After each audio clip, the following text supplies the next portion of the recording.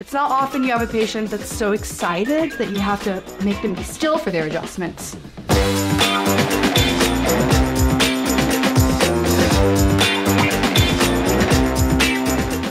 Hey y'all, been a while. I'm Dr. Bailey here at Lifespring Chiropractic in Austin, Texas, the best city in the world, arguably. Um, and I'm here with Alondra today and Mr. Duke. And we're actually not here for Alondra, we're here for Mr. Duke. So um, tell us a little bit about what brought y'all in to see us for dog chiropractic in the first place. Yeah, so Duke partial tore his ACL back in April, and so we've been just going through this long process of trying to figure out what's going to be good for him, what's helping, what's not helping. I get adjustments, and I was like, let's just take him. And so Heck yeah. I did Google, and I was like, found y'all, and y'all had the best reviews. So I was like, oh, we'll take him here. My husband was like, I don't know about taking dog to the chiropractor. I was like, look at these videos. Yeah. And so he was like, I get it. So he took him, and then after the first visit, his leg was bowed out before, and then we were taking him for a small walk, and we noticed he was walking straight, and he started sitting straight instead of on that right side where he used to lean to the left. When he sits, he sits straight down Yes. now. Um, we can tell when he's tight because he'll lean and sit on that side, but other than that, he's been doing so good, and it's only been like three visits. Yes, and we're so happy. And honestly, Duke is a great patient too. He's super easy to work with. He's he's the kindest boy ever, and he's repping UT. So let's go. what is the biggest change you've noticed since beginning care? I know it's been a short time, but as far as like before he started getting adjusted, what was his pat- walk pattern like, and then afterwards, what have you seen change? Not only with his movement, but like maybe even mood or behavior. Yeah, and so we find that he's a lot more comfortable around the apartment, like moving wise and like running around. Um, we do have to be careful because our, horns get too excited. It's scary, but he's definitely moving a lot better. Yes, you. He's like, it's you, summer boy. I know. We're here for you. Don't worry. Uh, he's been so like energized. He he can go on farther walks now. Oh. Like he's been only doing been able to do a quarter mile. Now he can do a whole half a mile. Um, so without him like starting to limp, we start noticing like Yeah. he gets tired and he starts limping on it. I'm like, okay, that's done. But he's up to half a mile now, so That's awesome. And y'all can probably see even on the video, like I'll have Duke walk around a little bit before we start. He has a little bit of a limp today. It's not nearly as bad as when I first saw him, but we do see like it sort of fades in and out. I'm sure when it's time for him to get adjusted again, you're like, oh, I can Oh, see yeah. it creeping back in a little. And then what about like if someone was a little hesitant about bringing their dog in, what would you tell them? I would say try it. It's not gonna hurt anything, and you'll notice something within the first visit. Yes. Okay, sweet. So we'll go ahead and get Mr. Duke adjusted today. He actually like loves his appointments. He's super Yes. excited to be here, and it's probably because I give away a lot. But get a you know treat? that is a okay. Isn't that right, Mr. Duke? Yes, you good boy. Oh, you good boy, Duke. You good boy. Come here. Let's show them your walk. Good boy. You can notice he's limping on that back end a little bit. I'm gonna get him to go all the way around the room. Come on, Duke. Yeah, there it is, that wiggle butt. But you can kind of see that little hitch in his gait on that back end. Yes, and he tore the right ACL, correct? Mm-hmm. So back right, so not this one, but this one. And he kind of compensates with this left one. So we often find problems in both sides. Okay, big boy, are you ready to get adjusted? Ready? Come here, sweet boy. Come here, sweet boy. Oh, you're so cute. With his little face.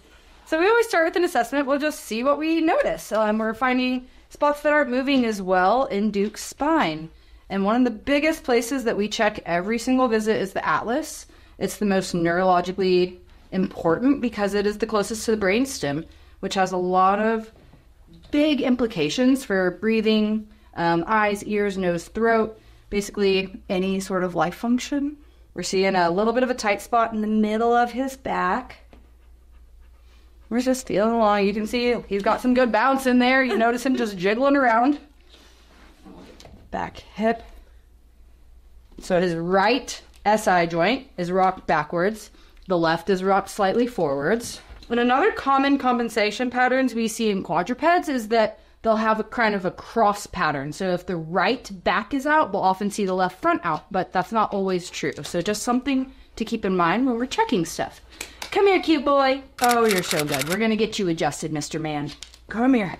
I like to keep him over the carpet so there's not as much slipping and sliding going around. And we're to start at the top for Duke. He's got a rotation on his atlas towards this right side. Come here, you big round boy. Good job. Yeah, mom's right there. Good boy. And we're just going to go, yeah, right. Good job. Wow, so good. Oh, you love it, don't you? You're just the best. He's so happy with his life. Hi, you good boy. Are you ready for your next one? Ready? You ready for the next one? Whoa! Whoa! Hold up. It's not often you have a patient that's so excited that you have to make them be still for their adjustments. Ready, Duke? Wow. That was a good one, too. Yeah, not as much excitement with that one, huh? That's so good. Great job. Yes. And Duke, I've been adjusting for a bit. We this is our fourth or fifth visit. And I know that he's not a biter, but we always want to put safety first. You'll notice I get real close when we're adjusting because we're working with tender areas that sometimes they don't want me messing with so much. So we got to put safety of us and the animal first. We want to make sure everyone's taken care of. This is actually perfect. We'll go ahead and adjust his pelvis. So I'm going to be on the right SI joint, right there. Wow, Dookie. That was a good one, buddy. Yeah. Now you gotta waddle it off. Come on back. Let's right here. Wow, good job, bub. One more. Good job, Duke. You're cracky today, buddy. Whoa, happy fella. Yeah. Whoa, good job. Whoa. you gonna catch that tail? You, you caught it. Whoa. You're the best, buddy. You're the best. Okay, let me get this left hip while we're here. Uh, this is a real sensitive spot on most dogs, so if you're p- feeling your own dog, be careful around here. Um, right. Yeah, good job, buddy. Yep, good job. You're really killing it today, bud. We're almost there. We got a few more things to check. Bring your little body around. We're gonna check your shoulders. A little more restriction on that posterior glide on the right front shoulder. Let's extend. There we go. That's it. Now we have quite a bit more movement in that joint. The left side feels decent. We're going to challenge it a little just to make sure. Extend your little elbow. Good boy. Just a tiny bit. Good job. You're so good. You are so good. Now we got to recheck the pelvis. Come here, because it's the most important, and then we got to get the knee. Yeah, you know the drill. Oh, it's tough being such a big, handsome boy, isn't it? You can see kind of that sensitivity around here, too. Right there. Wow, good job. And now, we're looking much better, much less sensitive. Still a little more in this hip.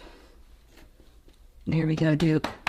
Good job, buddy. And then for his knee, so if we know there's a partial tear, I tend not to adjust these by hand. I tend to use more activator because I can gauge the force a lot better with this. And we're gonna do this on your little knee. Yes, we are. So you can see how the leg, this is what she was talking about earlier, kind of bows out. And we're gonna just test how it bends and how it extends right there. Hold up, Duke. Let that come down a little. Good boy. Good job, buddy. Wow, good job. Okay, you did great today, Mr. Man. Yes, you did. Wow, you did so good. Yes. So we're gonna give you a treat because that's what we always do to him. He gets two for being so good today. There we go. You're so good. If y'all have any questions about what you saw today, or if you're curious about some stuff about your own dog, feel free to leave some comments. And if you're not already subscribed, go ahead and subscribe. Thanks for joining us and catch us on our next video. Go on.